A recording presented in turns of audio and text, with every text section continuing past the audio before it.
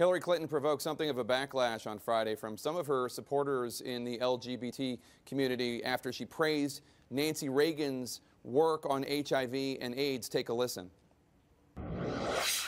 It may be hard for your viewers to remember how difficult it was for people to talk about HIV AIDS back in the 1980s. And because of both President and Mrs. Reagan, in particular Mrs. Reagan, we started a national conversation when before nobody would talk about it, nobody wanted to do anything about it. Hillary Clinton has since apologized for these, those remarks and said it was a mistake. Uh, what did you make of that? I just don't know what she was talking about. In fact, that was a very tragic moment uh, in modern American history. There were many, many people who were dying of AIDS. Uh, and in fact, there was demand all over this country for President Reagan to start talking about this terrible tragedy.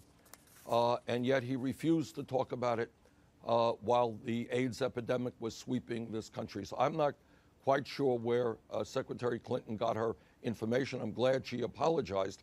Uh, but the truth is, it was not President Reagan and Nancy Reagan who were leaders in talking about this issue. Quite the contrary.